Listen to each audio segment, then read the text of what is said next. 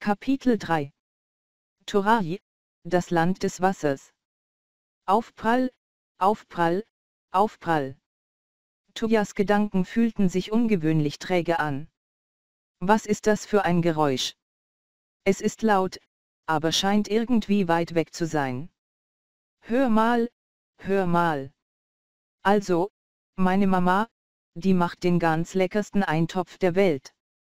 Ihr müsst ihn probieren. Ich höre jetzt die Stimme eines kleinen Mädchens.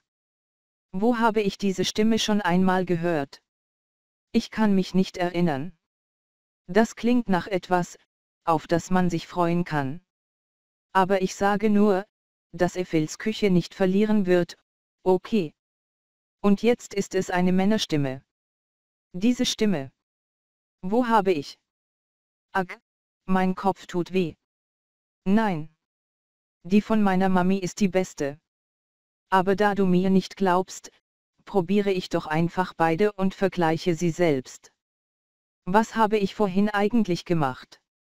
Ich habe das Gefühl, es war etwas sehr Wichtiges.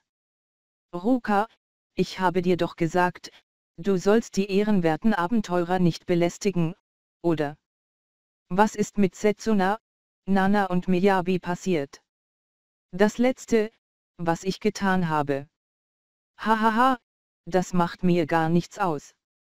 Es ist immer noch ein weiter Weg nach Torai. Ich freue mich über das Gespräch. Der Besitzer dieser Stimme. Ich war der Letzte. Setsuna und die anderen. Hallo, Mann, endlich bist du wach. Tuya spürte, wie sein Bewusstsein langsam zu ihm zurückkehrte. Als er die Augen öffnete, sah er einen klaren, blauen Himmel, der völlig wolkenlos war. Sehr, sehr langsam setzte er sich auf, sein Verstand war immer noch benebelt. Er versuchte, sich auf die Gesichter vor ihm zu konzentrieren, eins nach dem anderen. Da war das kleine Mädchen, das in Schwarzwinds Versteck gefangen gehalten worden war, die Mutter des Mädchens, und Tuja, richtig. Fühlst du irgendwo Schmerzen? Der schwarz gekleidete Mann, mit dem er bis zu dem Moment, als er ohnmächtig wurde, gekämpft hatte. Du? Geh weg von dem Mädchen. Beruhigen Sie sich erst einmal. Du solltest wahrscheinlich noch nicht aufstehen. Ruhen Sie sich noch ein wenig aus. In dem Moment, in dem Tuya den jungen Mann erkannte, hatte er versucht, aufzuspringen und sich auf ihn zu stürzen. Daraufhin machte der Fremde eine lässige Geste, und eine unsichtbare Kraft drückte ihn wieder zu Boden. Der Held, der sich gerade erst erholt hatte, war nicht in der Lage, sich gegen das zu wehren, was sich wie ein mächtiger Luftdruckzauber anfühlte. Zu seiner völligen Frustration wurde er einfach wieder nach unten gedrückt. Verdammt nochmal, ich werde nicht noch einmal gegen dich verlieren. Weißt du, manchmal mag es die richtige Entscheidung sein, aufs Ganze zu gehen, aber das hier ist wirklich keine dieser Zeiten. Sieh dich besser um. Und wenn du dich zu sehr anstrengst, könnten deine Wunden wieder aufbrechen. Tuya wollte sich weiter anstrengen, um sich zu wehren, aber die Worte des Fremden veranlassten ihn, innezuhalten und seine Umgebung genauer zu betrachten. Der schwarz gekleidete Mann saß im Schneidersitz, und in seinem Schuss saß das kleine Mädchen. Du kranker Bastard! Du würdest sogar Hand an ein kleines Mädchen legen. Natürlich nicht, du Idiot. Ich meinte, sieh dir an, was Roka in der Hand hält, sagte der Mann und zeigte auf die Hände des kleinen Mädchens. Tuya glaubte zu spüren, wie der Luftdruck auf ihm ein wenig zunahm. In Rukas Armen zitterte der Schleim. Der angeblich den Abenteurern gehörte. Die die Gefangenen gerettet hatten, auf die Tuya und seine Freunde in Blackwinds Versteck gestoßen waren eine Gruppe von Opfern, zu der auch Ruka und ihre Mutter gehört hatten. Dieser Schleim. Er gehört den Abenteurern, die wir retten wollten. Das ist richtig. Sein Name ist Kloto. Und ich bin dieser Abenteurer. Mein Name ist Kelvin, antwortete der Mann und zeigte auf Tobias Verwirrung hin seine goldene Gildenkarte. D. Das kann nicht sein. Die Abenteurer, die wir retten wollten, waren der große Mann und die Frau mit den magischen Juwelen, die du. Es ist wahr, rief das kleine Mädchen. Ich habe doch gesagt, dass es der große Bruder war, der uns gerettet hat, oder? Die anderen beiden waren Freunde der bösen Banditen. Ruka, schrei nicht so, ja, ermahnte die Mutter des Mädchens. Verehrte Held, bitte verzeiht meiner Tochter ihren Mangel an Manieren. Aber was sie sagt, ist die Wahrheit. Tuya starrte sie an, sprachlos. Angesichts der Aussagen der geretteten Opfer selbst konnte er nichts mehr sagen.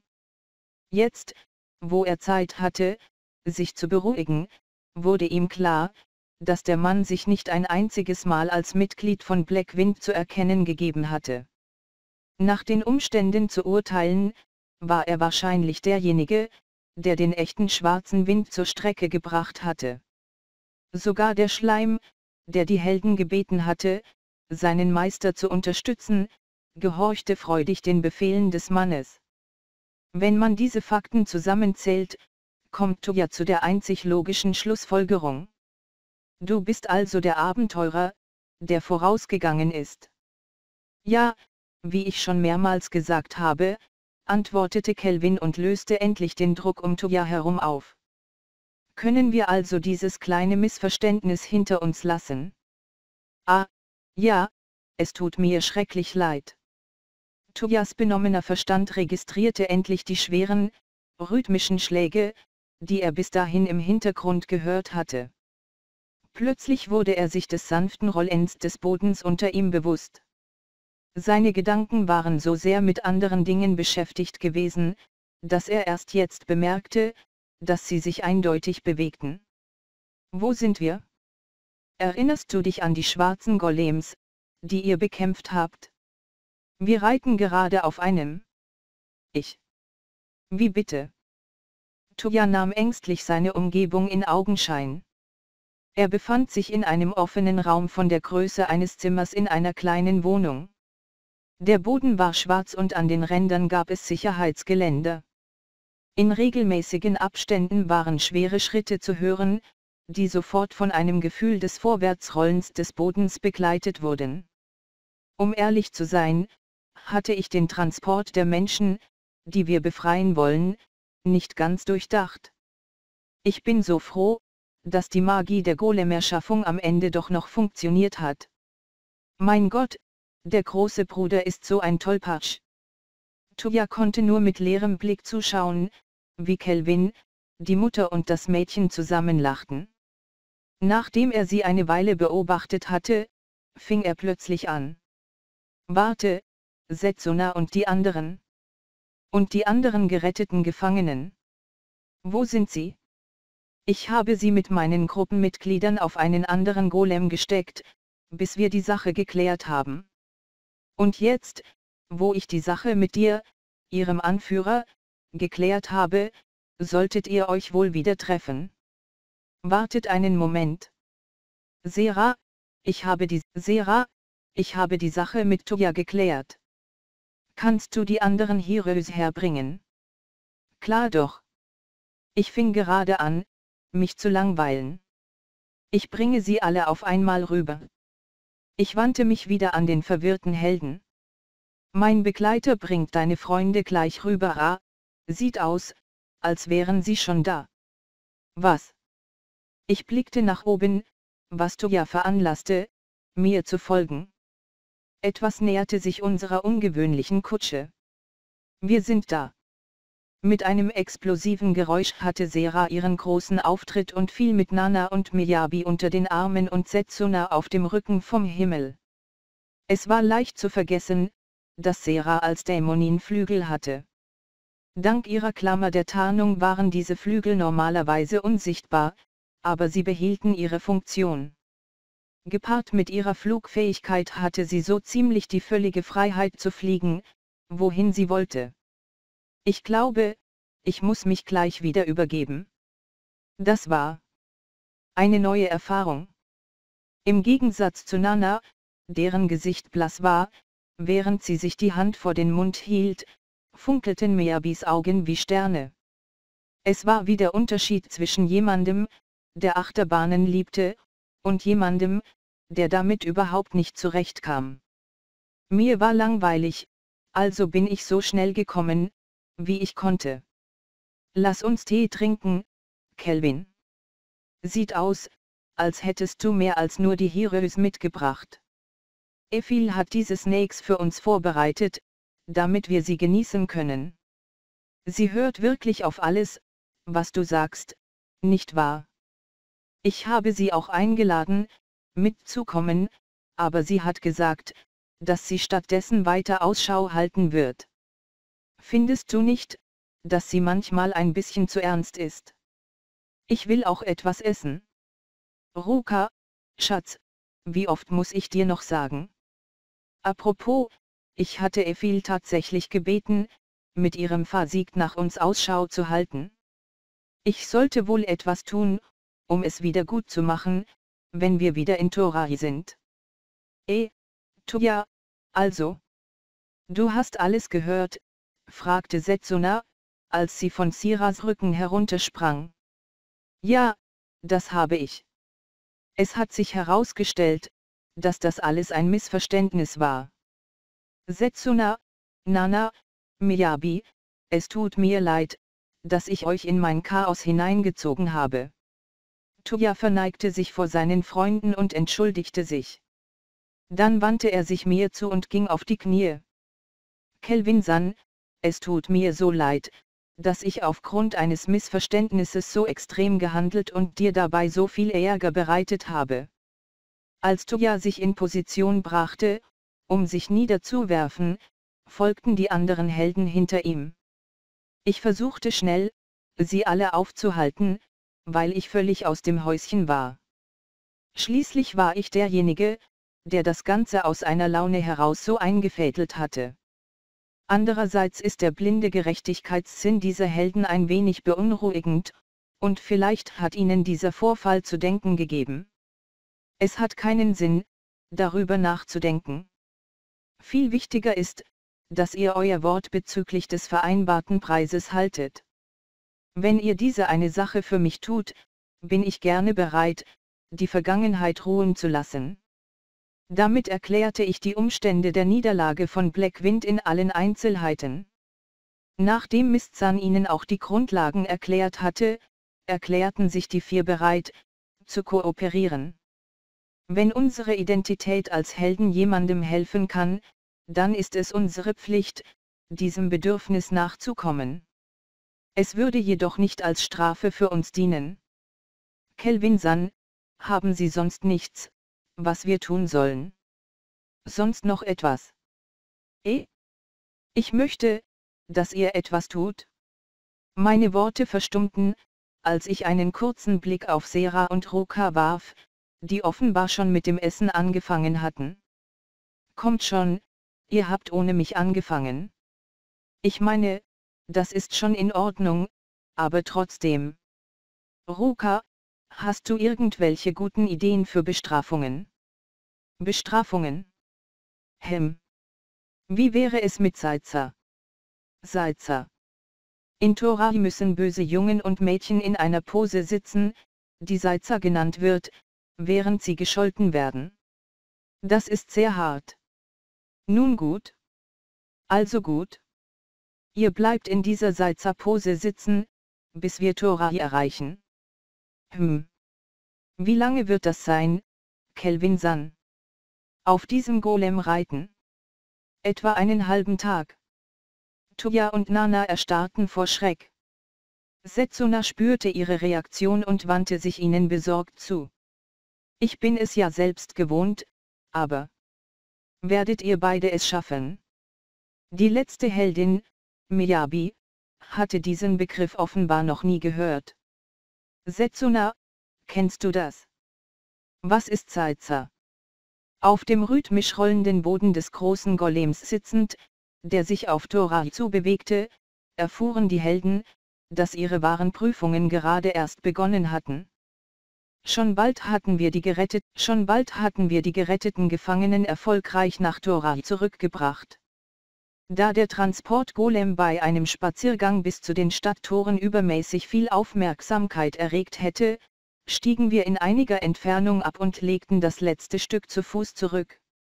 Abgesehen von Setsuna waren alle Helden völlig erschöpft, also brachte ich sie mit Hilfe der weißen Magie wieder auf die Beine. Miyabi schien durch die Salza-Tortur leicht traumatisiert worden zu sein, aber nun, dafür gab es kein magisches Heilmittel. Da die Abenteurergilde die Königin von Torai bereits benachrichtigt hatte, hatte ich erwartet, dass wir mit einem riesigen Fest begrüßt würden und die ganze Stadt in voller Stärke aufmarschieren würde. Aber nein.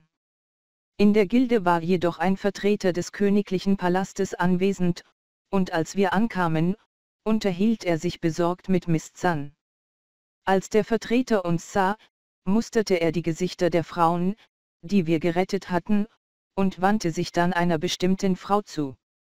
Beide brachen in Tränen aus und umarmten sich heftig. Wie sich herausstellte, waren die beiden verlobt, und es war eine dieser Stereotypen, emotionalen Heimkehrszenen. Die Frau war erst neulich auf dem Weg nach Parz verschwunden, woraufhin ihr Verlobter eine Vermisstenanzeige bei der Gilde aufgegeben hatte. Wie es der Zufall so wollte, war er der ernannte Vertreter, als Miss Zan die Königin wegen der heiklen Situation mit Blackwind kontaktierte. Seitdem war er Tag ein, Tag aus bei der Gilde vorbeigekommen und hatte sich immer wieder nach Neuigkeiten erkündigt. Das Paar weinte sehr und bedankte sich immer wieder bei mir. Die anderen Frauen, darunter Ruka und ihre Mutter, Elisan, wurden unter den Schutz der Gilde gestellt, die in Zusammenarbeit mit den höheren Stellen in Tora ihre Identitäten überprüfen würde. Es würde wahrscheinlich nicht allzu lange dauern, bis Parts, der Amis und Gaun von dem Vorfall Wind bekämen und Erkündigungen bei Trützen einziehen würden. Wir hatten jetzt die Zeugenaussagen der Helden, also gab es keine Möglichkeit, dass Trützen sich aus der Sache her auswinden konnte. Wir sehen uns bald wieder, großer Bruder.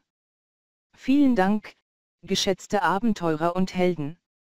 Nach der Verabschiedung von Ruka, die energisch mit den Armen winkte und die ganze Zeit auf Wiedersehen, rief, bis sie aus dem Blickfeld verschwand, wurden meine Gruppe, die Helden, M.A. Mist und ich zur Burg Torai eskuriert. Es schien, als wollte sich die Königin persönlich bei uns bedanken. Ich wusste, dass dies das Treffen war, das darüber entscheiden würde, ob ich endlich Reis in die Hände bekommen würde. Nach meinem früheren Gespräch mit Miss Zan wurde diese spezielle Sorte deren Beschreibung der des modernen japanischen Reises sehr ähnlich klang nur in Torai geerntet.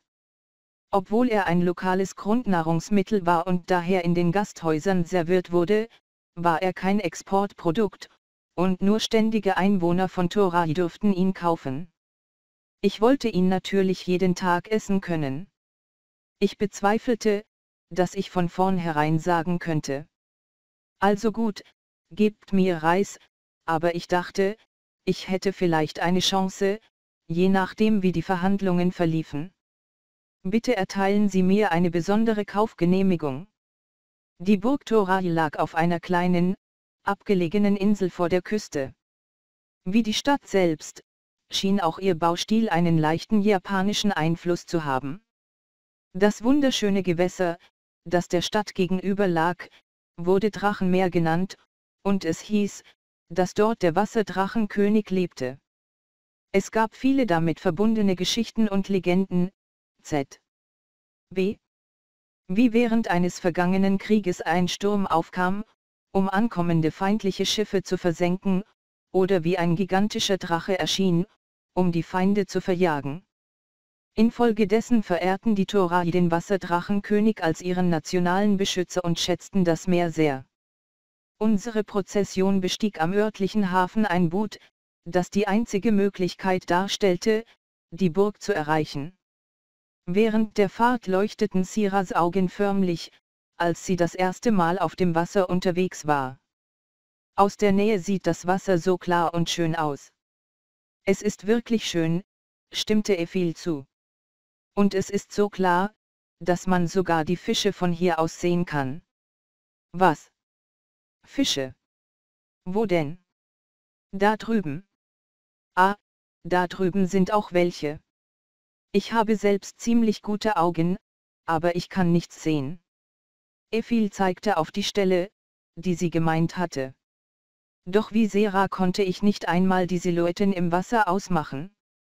Aber das war bei Ephils Fähigkeit, weitsichtig zu sein, auch kein Wunder. Wenn es keine Hindernisse gab, konnte sie. Nun ja, sehr weit sehen. Ich wette, wenn sie die Fähigkeit auf Rang S erhöhen würde, könnte sie sogar über den Horizont hinaus sehen, dachte ich scherzhaft. Glücklicherweise konnte sie die Entfernung ihres Vermögens nach Belieben einstellen, so dass die Fähigkeit ihr tägliches Leben nicht beeinträchtigte. Als wir uns der Burg näherten, begannen die Helden über unser Ziel zu plaudern. Das ist also die Burg Torai. Es sieht ein bisschen aus wie ein japanisches Schloss, murmelte Toya. Findest du das auch, Kanzaki-kun? Die Drachenverzierungen auf dem Dach sehen ein bisschen wie Schachiokos aus, oder? Hm, das habe ich mir auch gedacht. Ich nehme an, wir Japaner haben diesen Eindruck. Die Legenden besagen, dass der Gründer unseres Königreichs aus einer anderen Welt herbeigerufen wurde, genau wie ihr. Es könnte sein, dass seine Heimatstadt die gleiche war wie eure, bot Mistzan an. Die gleiche wie unsere. Wurde er von einem früheren Orakel von der Amis herbeigerufen, so wie Colette uns herbeigerufen hat. Die Orakel beschwören nur Helden, also glaube ich, dass unser Gründer auf einem anderen Weg in diese Welt gelangt ist.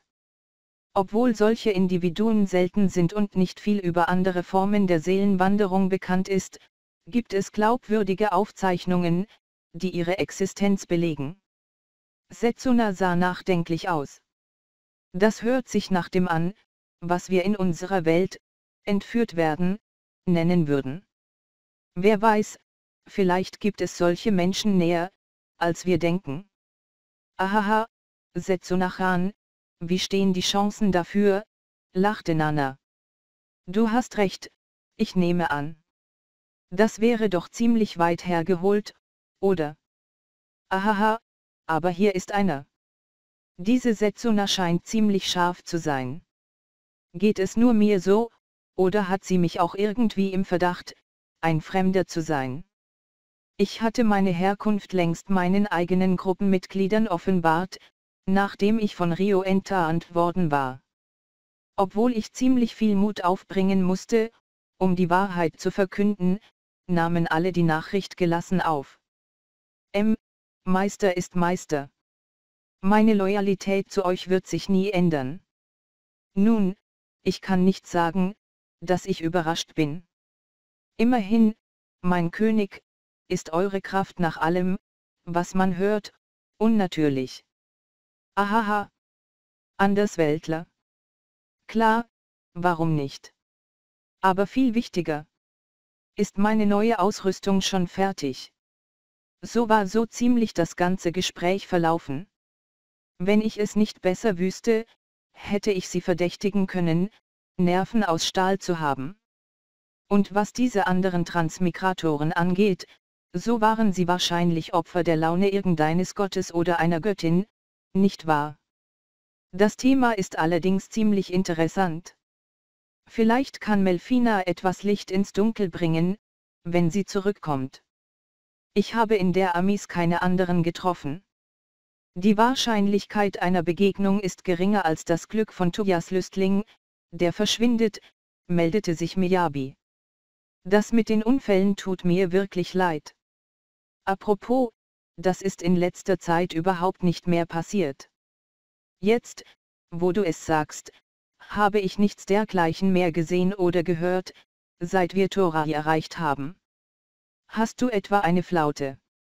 Mir wäre es viel lieber, wenn du für immer so bleiben würdest. Setsuna räumt immer auf. Tuya macht immer Ärger.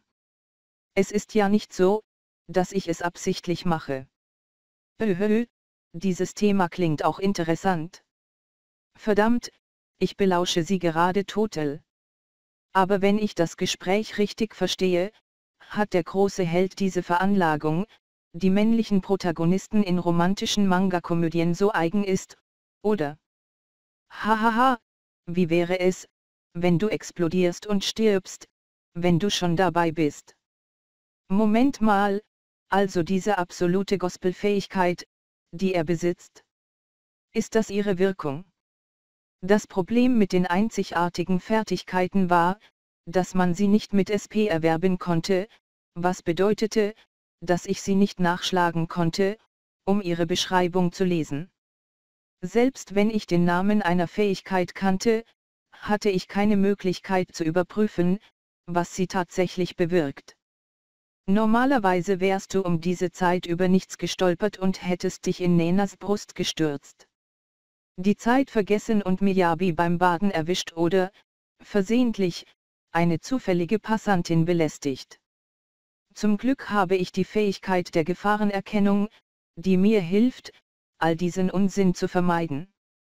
Aber es muss das erste Mal sein, dass du so lange nichts Unangemessenes getan hast. Komm schon, Setsuna, du weißt, dass ich nicht anders kann. Und ich entschuldige mich immer ordentlich. Hey, Hiro, du musst dich ein bisschen weiter weg von Ephil und Sera setzen, warnte ich. Du auch, Kelvin-san.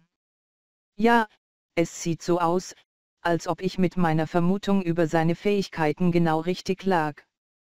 Ich nehme zurück, was ich während des Spiels gesagt habe. Er ist der gefährlichste von allen. Aus irgendeinem unbekannten Grund scheint diese zwielichtige Fähigkeit im Moment nicht zu funktionieren.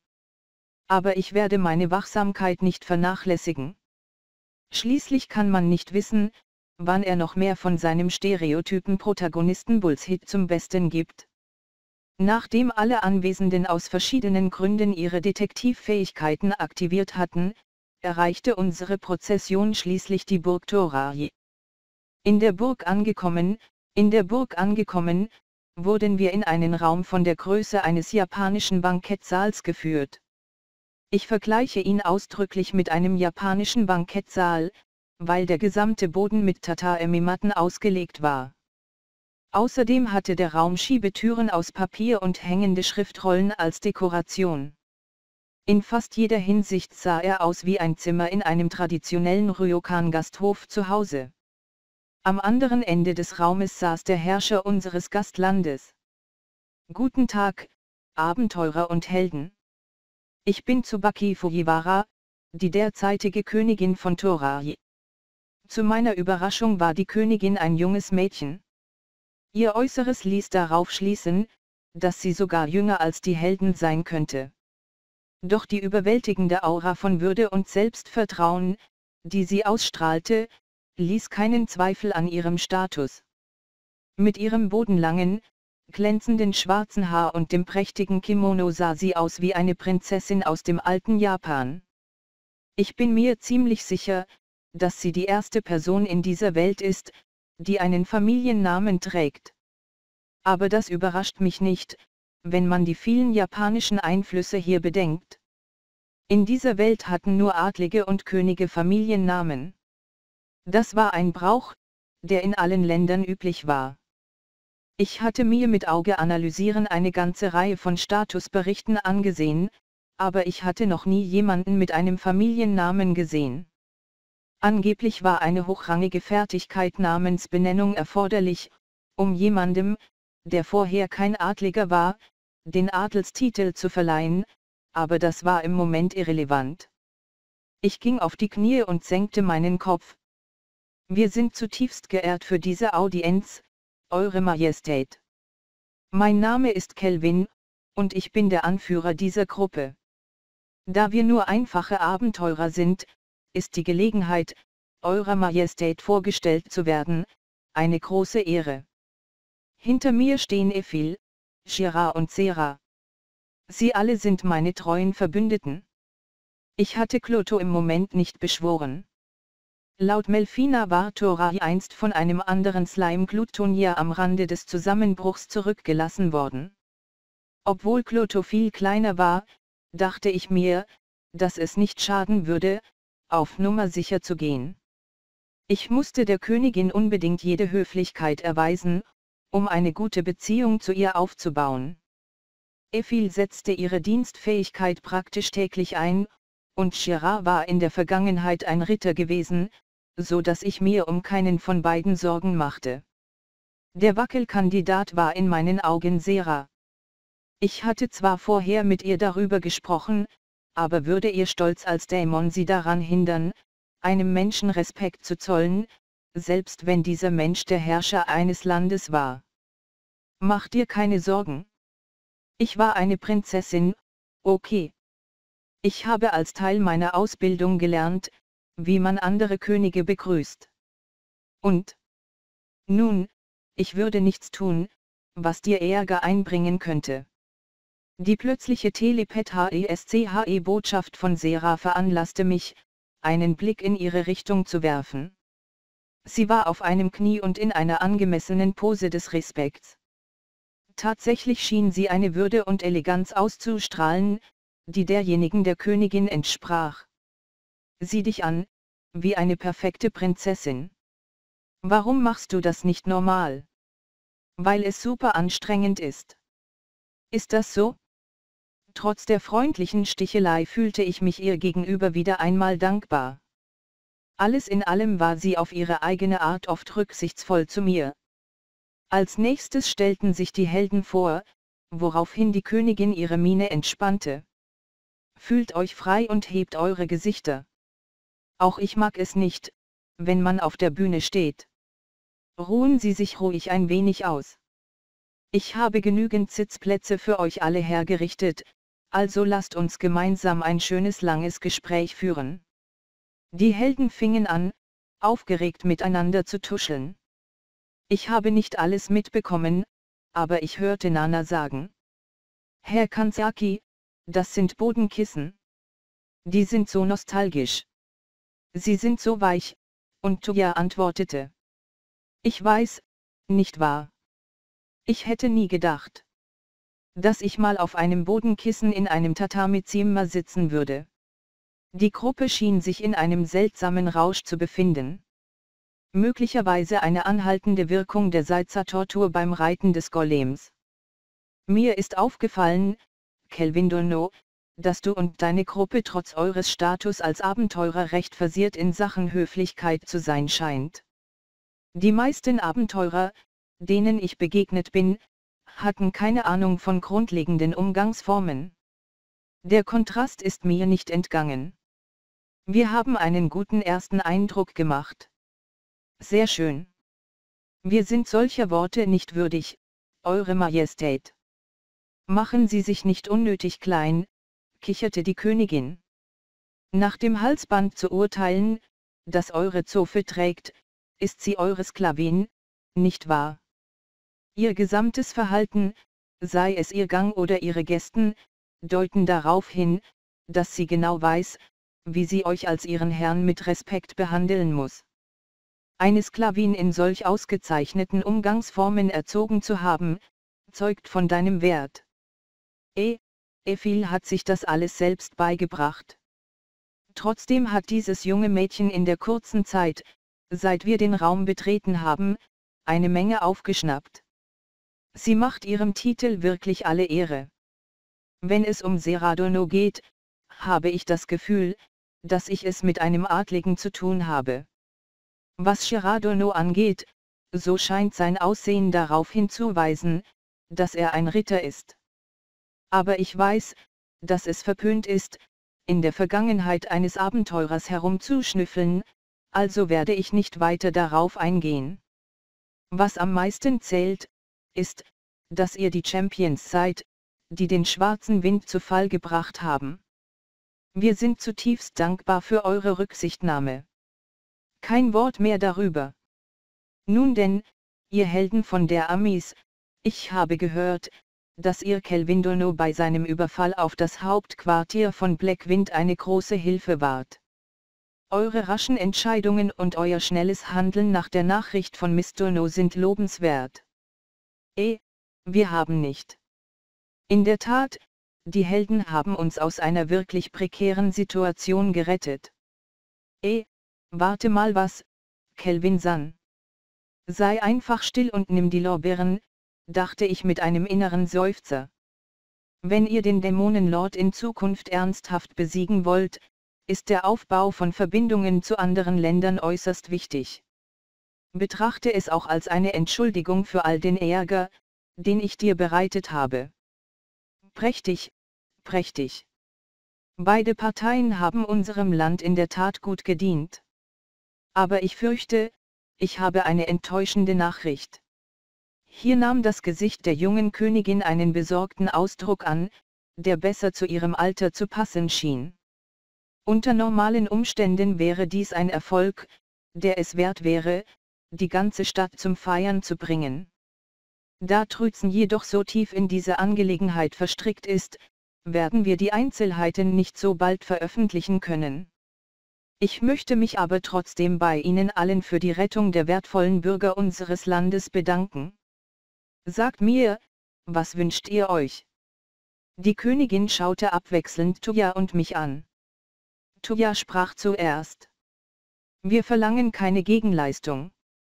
Im Gegensatz zu dem, was Emma Kelvin gesagt hat, haben wir nichts zur Unterwerfung des schwarzen Windes beigetragen. Alle Anerkennung und Belohnungen sollten stattdessen an seine Partei gehen. Was hältst du davon, Kelvin Dono? Nun, ich kann nicht sagen, dass ich überrascht bin. Ich dachte, er würde die Anerkennung ablehnen. In diesem Fall, wagte ich zu sagen, habe ich gehört, dass es in Tora ein Getreide gibt, von dem es heißt, es sei absolut köstlich, aber es kann nur von den Bürgern dieses Landes erworben werden. Darf ich so dreist sein und um eine Kaufgenehmigung bitten? Das ist alles, was du dir wünschst. Sie können Status, Ruhm und Geld haben, wenn Sie das wollen. Es liegt in meiner Macht, vieles zu gewähren. Seid ihr euch eurer Entscheidung sicher? Wir sind Abenteurer, die ihre Freiheit genießen. Einen Status zu akzeptieren, der unserer Lebensstellung nicht angemessen ist, würde uns nur fesseln. Wenn wir die Wahl hätten, würden wir es vorziehen, unsere Mägen mit köstlichem Essen zu füllen. Shira und Sera nickten zustimmend, während Ephil nur lächelte. Die Königin gluckste und brach dann in schallendes Gelächter aus. Was für eine seltsame Gesellschaft. Ich hatte erwartet, dass ihr von Begierde beherrscht werdet wie die Champions von Trözen. Ich wurde eines Besseren belehrt, sehr zu meiner Unterhaltung und Überraschung. Kelvin Dono, kümmert euch nicht um eine Kaufgenehmigung. Ihr sollt Reissäckeweise bekommen. Wenn er zur Neige geht, schickt mir einfach einen Brief, und ich sorge dafür, dass ihr kostenlos Nachschub erhaltet. Wollten Sie uns testen, Eure Majestät? Natürlich nicht mit unlauteren Absichten. Hättet ihr euch für Geld oder Status entschieden, hätte ich euch gegeben, worum ihr gebeten habt, ohne euch herabzusetzen oder zu betrügen. Das bedeutet nur, dass ich Gefallen an ihnen gefunden habe. Das Lachen der Königin ertönte erneut angenehm und zeugte von einer offensichtlich guten Laune. Es sieht so aus, als wären die Verhandlungen recht gut verlaufen. Tuyadolno, fuhr die Königin fort, du bist wirklich der Held, von dem man sagt, dass du es bist. Ihr besitzt eine einfache Ehrlichkeit und eine geradlinige Persönlichkeit. In Maßen sind das wunderbare Eigenschaften. Wenn du es jedoch zu weit treibst, werden sie dich in einen frühen Tod führen wahrscheinlich auf eine Art und Weise, die auch deine Verbündeten nicht ungeschoren davonkommen lässt. Natürlich, Eure Majestät, antwortete Tuya und ballte die Fäuste. Aber seien Sie nicht so streng mit sich selbst ständig. Wir alle lernen mit dem Leben. Was am meisten zählt, Tuya Dono, sind unsere Erfahrungen und die Anwendung der Lektionen, die wir daraus lernen. Setsunadono, Nanadono und Meapidono, sorgt dafür, dass ihr ihn bei Bedarf unterstützt. Ich werde mir eure Worte zu Herzen nehmen, Eure Majestät. Gute Antwort. Nun denn, obwohl bescheiden, habe ich für heute Abend ein Festmahl vorbereitet. Ich bete, dass ihr es alle genießen werdet. Die Königin klatschte einmal in ihre kleinen Hände, und mehrere Schirme an der Seite des Raumes öffneten sich und gaben den Blick auf Dienerinnen frei, die eine große Auswahl an Speisen brachten. Nenas Augen funkelten. Ich kann es nicht glauben. Sie haben Sashimi und Takiko Emigo Hen. Und ist das auch ein Topf für Nabe? Erstaunlich, das ist alles japanische Küche. Setsuna sah ebenfalls tief beeindruckt aus. Soweit ich sehen kann, sind die Zutaten nicht ganz die gleichen, aber das ist zweifellos japanische Küche. Ich habe gehört, dass ihr Helden aus einem Land namens Japan kommt, aus dem der Gründer unseres Königreichs, Toraji Fujiwara, ursprünglich stammte. Er hat viel von seiner einzigartigen Kultur in diesem Land zurückgelassen, und so hoffe ich, dass der heutige Abend als kleine Erinnerung an eure Heimat dienen kann. Was Kelvin Dono betrifft, so können Sie dies als Gelegenheit nutzen, um den Reis zu probieren, auf den unser Land so stolz ist. Ich werde dieses Angebot dankbar annehmen. Wenige Augenblicke später hatte ich den ersten Bissen Reis genommen, seit ich auf dieser Welt war. Das Gefühl war unglaublich köstlich und schrecklich nostalgisch. Nach der Audienz im Schloss, nach der Audienz im Schloss checkten meine Begleiter und ich in dem Gasthaus ein, in dem die Königin uns Zimmer besorgt hatte, und faulenzten zum ersten Mal seit langem einfach nur herum. Ich las ein Buch, Sera lag auf ihrem Bett und nippte an ihrem Fruchtsaft, und Shira polierte sein geliebtes Schwert. Efil kochte unten in der Küche das Abendessen für uns, und auf ihrer Schulter saß wieder einmal ein winziger Klon von Kloto. Die Hirös waren in ihren eigenen Zimmern. Oh, ja. Sera und Shira, habt ihr keine Familiennamen? Als ich den Vertrag mit den beiden abgeschlossen hatte, hatte ich ihren jeweiligen Status überprüft. Keiner von ihnen hatte einen Familiennamen angegeben. Sera schaute hinüber. Wie kommst du denn darauf? Das Thema kam mir gerade in den Sinn, als wir die Königin trafen und sie, Fujiwara, als Familiennamen angab. Wenn ich mich recht erinnere, haben hier nur Adelige und Könige Familiennamen, oder? Sera, da du eine Prinzessin bist, gehörst du zum Adel, und Shira, da du ein Ritter bist, gehörtest du damals zum Adel, richtig? Warum habt ihr also nur Vornamen? Ah, das ist es, was du meinst. Hm, wie kann ich das erklären? Ihr kennt die Fähigkeit der Namensgebung, mein König. In einem allgemeinen Sinn, denke ich. Ich habe nur einen kurzen Blick darauf geworfen, als ich auf meinem Statusbildschirm durch die Registerkarte Fertigkeiten blätterte.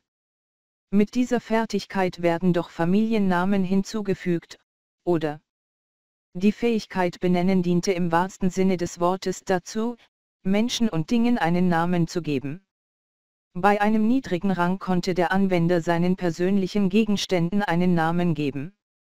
Mit der Einschränkung, dass der Rang des Gegenstands gleich oder niedriger als der der Fertigkeit sein musste. Bei einem höheren Rang konnte er mit der Erlaubnis des Besitzers die Gegenstände eines anderen benennen. Wenn der Rang hoch genug ist, können sogar Zaubersprüche und die Namen anderer Personen geändert werden. Das einzige Problem war, dass Namen, die mit dieser Fertigkeit geändert wurden, auf dem Statusbildschirm in blauer Schrift angezeigt wurden, so dass diese Fertigkeit insgesamt nicht sehr verbreitet war. Das ist richtig. Wenn ein Land ein neues Mitglied des Adels aufnimmt, muss bei der Zeremonie ein Beamter anwesend sein, der über die Fähigkeit der Namensgebung in einem hohen Rang verfügt. Diesem Beamten obliegt es, den neuen Familiennamen zu verleihen. Ich bin mir über die genauen Einzelheiten nicht sicher, aber ich glaube, dass die Fertigkeit mindestens den Rang A haben muss. Rang A. Mit anderen Worten, man müsste sowohl mit Talentpunkten als auch mit Wachstumspunkten gesegnet sein, nur um diese eine Fähigkeit auf einem so hohen Rang zu erhalten. Das klingt nach einer ziemlichen Last. Deshalb gibt es ganze Familien, die alles tun, um von Generation zu Generation Namensträger des Rangs A hervorzubringen, um ihre Macht und Ehrenposition und ihren Platz am Hof zu sichern. Für solche Familien gehört es auch zu ihren Aufgaben, einen Nachfolger heranzuziehen. Wir Dämonen sind etwas lockerer mit der ganzen Namensgebung, fügte Sera hinzu. Die meisten Dämonen sind sehr ehrgeizig und bereit, alles zu tun, um in den Adelsstand aufzusteigen. Daher war es nicht ungewöhnlich, dass Dämonenrassen wegen eines einzigen Namensgebers in einen Krieg ausbrachen. Deshalb haben sich die Dämonen auf eine einfache Regel geeinigt. Wenn du einen Familiennamen durch jemanden erwirbst, der die Fertigkeit benennen besitzt, bist du ein Adliger. Und jeder Inhaber der Fähigkeit kann nur eine Person benennen, wer zuerst kommt, mal zuerst. Ist das der Grund, warum so viele Dämonenfürsten aus der Dämonenrasse stammen. Was sollte jemanden daran hindern, massenhaft Namensgeber zu produzieren? Was seid ihr Dämonen, kriegerische Barbarenstämme? Wirklich. Ich dachte, diese Regel würde dir gefallen, Kelvin. Auf jeden Fall habe ich das alles nur aus Büchern gelernt, die Realität könnte also ganz anders aussehen. Ganz zu schweigen davon, dass seit meiner Zeit als Prinzessin eine Menge Zeit vergangen ist. In der Menschenwelt wird die Namensgebung völlig anders gehandhabt, bot Chira an. Familiennamen werden nur während einer speziellen Zeremonie verliehen, die jedes Land zweimal im Jahr veranstaltet. Denjenigen, die die Fähigkeit der Namensgebung besitzen, ist es verboten, sie ohne ausdrückliche Erlaubnis ihrer Regierung zu benutzen. Jedes Land führt streng Buch über die Träger von Familiennamen, und es ist ein Verbrechen, sich aus heiterem Himmel zum Adeligen zu erklären. Interessant, interessant. Hey, warte einen Moment. Wenn ich mich richtig erinnere, hatte das Schwein von einem Prinzen, das sich damals in Parts mit mir angelegt hat, auch keinen Familiennamen. Warum war das so? Was ist mit Kindern, die von adligen Eltern geboren werden? Erben sie nicht von Geburt an den Familiennamen? Nein, das tun sie nicht. Alle Kinder müssen sich einer Namensgebungszeremonie unterziehen, um den Familiennamen zu erhalten. Die Einzelheiten hängen von der Familie ab, aber in der Regel geschieht dies, wenn das Kind bereit ist, auszuziehen und unabhängig zu werden. Das bedeutet, dass das kleine Schweinchen noch nicht unabhängig war, oder? Soweit ich weiß, kann das bei königlichen Kindern anders sein. Ich verstehe. Danke, ich glaube, ich verstehe jetzt das Wesentliche. Also, um das Gespräch ein wenig zurückzudrehen. Sera und Chira, seid ihr beide nicht adlig. Ich bin königlich, was etwas anderes ist als Adel. Trotz allem, was passiert ist, war mein Vater immerhin ein König. Die Sache ist die, dass er mich bei meiner Flucht bewusstlos zurückgelassen hat, also weiß ich nicht einmal, wie oder warum mein Familienname weg ist. Klingt für mich so, als hätte dein Vater den Dämon, der dich benannt hat, dazu gebracht, es rückgängig zu machen, Mädchen. Hättest du deinen Familiennamen behalten, hätte das eine Menge unerwünschter Aufmerksamkeit auf dich gezogen, oder? Namensgeber können jede Benennung, die sie vorgenommen haben, mit der Erlaubnis eines Blutsverwandten der benannten Person rückgängig machen. Wenn man bedenkt, wie viel Mühe sich Dämonenfürst Gustav gemacht hat, als er Sera einsperrte, einschließlich der Vorkehrungen, dass andere Dämonen ihre Ketten nicht berühren konnten und dafür sorgte, dass sie den Tarnungsclip hatte, um sich zu tarnen, würde es mich nicht überraschen, wenn er auch ihren Familiennamen löschen ließ. Girard hat nicht ganz unrecht. Einsame Adlige sind eine gute Zielscheibe für böse Menschen. Nun, jeder, der es auf mich abgesehen hat, wird meine Faust fressen, also sollte es mir gut gehen. Das ist nicht ganz das, was ich meinte. Was mich betrifft. Fuhr Girard fort. Obwohl ich ursprünglich aus einer Bauernfamilie stamme. Habe ich dank der Großzügigkeit des Königs von Alkal tatsächlich einen Familiennamen erhalten, als ich zum Hauptmann der Ritter ernannt wurde. Wenn ich raten müsste, hätte ich meinen Familiennamen wahrscheinlich verloren, als ich als Schwarzgeistritter zurückkehrte. Die Verwandlung in ein Monster muss die Namensgebung rückgängig gemacht haben. Mit anderen Worten, es gibt Möglichkeiten, einen Familiennamen zu verlieren, außer dass er einfach vom Namensgeber widerrufen wird. Ich denke schon, antwortete Sera. Auf jeden Fall bin ich jetzt einfach nur die alte Sera. Und dieser sehr zuverlässige Schild ist einfach der alte Girard. Das hat doch gut geklappt, oder nicht? Sie schenkte uns ein friedliches Lächeln, während sie sich mit dem Gesicht nach unten auf das Bett drehte und mit den Beinen zu flattern begann. Obwohl ich es nur ungern zugeben wollte, spürte ich, wie mein Herz einen Schlag aussetzte. Klopf, klopf. Das verhaltene Klopfen an der Tür verriet, dass Ephil auf der anderen Seite war. Meister, das Abendessen ist fertig. Ich habe gelernt, wie man Reis richtig kocht, und ich habe alle japanischen Rezepte auswendig gelernt, die mir der von der Königin geschickte Koch beibringen konnte. Gut gemacht, Ephil. Ich bin so froh, dass wir uns nicht auf die sehr begrenzten Kochkenntnisse in meinem Gedächtnis verlassen müssen. Jetzt kann ich jeden Tag Reis genießen, auch nach meiner Rückkehr nach Parz. Du bist se MVP. Ohne darüber nachzudenken, hob ich Effels schlanken Körper hoch und begann, sie im Kreis zu drehen. Was? Ich habe vielleicht den niedrigsten Stärkewert in unserer Gruppe, aber selbst ich bin zu so etwas fähig. Selbst wenn ich am unteren Ende der Stärke meiner Gruppe liege, bin ich immer noch stärker als der durchschnittliche Abenteurer. MM-Meister, mir wird schwindelig. Hahaha. Ha, ha. Und was ist daran so schlimm? Das ist ein Grund zum Feiern. Aber es ist peinlich. Natürlich hörte ich nicht auf. Ich werde ewig weiter spinnen. Oh, es ist schon eine ganze Weile her, seit ich das letzte Mal eine so spontane Reaktion von Ephil gesehen habe. Wirklich. Das ist ihre Spontaneität. Na ja. Ich schätze, das ist irgendwie anders als ihr übliches cooles Auftreten. Sie hat angefangen, auf ihr Benehmen zu achten, nachdem sie ein Dienstmädchen geworden ist. Ihre niedlichen Reaktionen jetzt sind so, wie sie am Anfang war. MMM Meister, hör auf. Sitz. Was bin ich, ein Hund?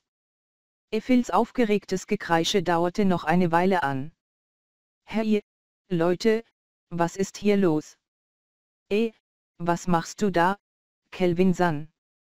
Tuya war gekommen, um nach der Quelle des Lärms zu suchen. Er war allein, denn auf Setsunas Wunsch hin, was die Schlafmöglichkeiten anging, hatte man ihm ein separates Zimmer zugewiesen, ganz allein. Da wir uns die Mühe gemacht hatten, da wir uns die Mühe gemacht hatten, den ganzen Weg in ein anderes Land zu reisen, wollten Ephil, Sera und ich den Tag mit einer Stadtbesichtigung in Torah verbringen. Girard machte sich allein auf den Weg, da er den Heroes bei der Auswahl neuer Ausrüstung helfen wollte. Also war ich allein unterwegs, mit einer schönen Frau und einem süßen Mädchen an meiner Seite. Das war ein ziemlich auffälliger Anblick, um es milde auszudrücken, und wir trafen auf eine Reihe von Ganoven, die versuchten, uns anzusprechen. Jedes Mal setzte die gnadenlose Sera sofort ihre Fäuste ein, und so war es an mir, als dem schwächsten Mitglied der Gruppe, solche Annäherungsversuche sanft abzuwehren. Um keinen weiteren Ärger zu verursachen, beschlossen wir schließlich, einige relativ leerstehende Geschäfte zu besuchen. Kelvin, Kelvin, kauf das für mich. Sieh nur, es ist so kunstvoll. Als wir in einem Antiquitätengeschäft stöberten, kam Sera mit einer verdächtig aussehenden Dekoration in der Hand heraus, die eine flüchtige Ähnlichkeit mit einer buddhistischen Statue hatte. Aber ein so dämonisches Design aufwies, dass ich mir vorstellen konnte, wie ein zwielichtiges Sektenmitglied versuchte, mich davon zu überzeugen, dass es ihr einziger wahrer Gott war. Oh, richtig, dieses Mädchen ist ein Dämon. Was willst du denn damit machen? Eh? Das Böse abwehren. Ich sehe nur, dass es das Böse anzieht. Leg es zurück, wo du es gefunden hast. Was? Aber es sieht so cool aus. Da wir vorhatten, etwas Bestimmtes zu kaufen, hatten wir im Moment nicht allzu viel Geld zur Verfügung. Und obwohl wir etwas Geld übrig hatten, wäre es für Siras Bildung nicht förderlich gewesen, wenn ich sie hätte kaufen lassen, was sie wollte. Sie bedrängte mich unablässig, aber ich blieb hartnäckig. Meister, da drüben. Hm. Was ist los? Diesmal war es Ephil, die sprach. Es hörte sich aber nicht so an, als hätte sie etwas gefunden, was sie wollte. Vielmehr hatte sie einen besorgten Gesichtsausdruck, als sie auf das Schaufenster des Ladens zeigte. Ich würde natürlich alles, was viel wollte, sofort kaufen. Kelvin. Unser Gespräch ist noch nicht zu Ende. Was mich betrifft, ist es schon längst vorbei. Ernsthaft, wie wäre es, wenn ihr über etwas Konstruktiveres reden würdet? Also, Ephil, was sehen wir uns an? Während ich versuchte, Siras empörte Proteste zu beschwichtigen, drehte ich mich um, um nach draußen zu sehen, und erkannte sofort die Gestalten von Tuya und seiner Gruppe. Shira war nirgends zu sehen, da er wahrscheinlich unterwegs getrennt worden war. Stattdessen wurden die Teenager gerade von einer der Gruppen von Ganoven begleitet, die wir vorhin abgewiesen hatten. Sieht aus, als wäre ich vorhin ein bisschen zu sanft gewesen. Du Mistkerl. Erst dieser andere Kerl, und jetzt bringst du auch noch solche Süßen mit. Macht ihr das, um uns zu ärgern oder so? Ich bin mir nicht sicher, wovon du sprichst. Könntest du mir das mal erklären? Halt die Klappe. Ich habe genug. Lass mich erst mal dein hübsches jungen Gesicht in Ordnung bringen. Beruhige dich. Wie wär's, wenn wir darüber reden? Keine Sorge, ich bin sicher, wir werden uns verstehen. Tuja, diese Einstellung wird sie nur noch mehr provozieren. Ärgernis. Das muss sofort beseitigt werden. Lasst uns das tun. Ihr Mistkerle. Helft mir doch. Ein Kampf ist ausgebrochen. Was zum Teufel sehe ich mir da an?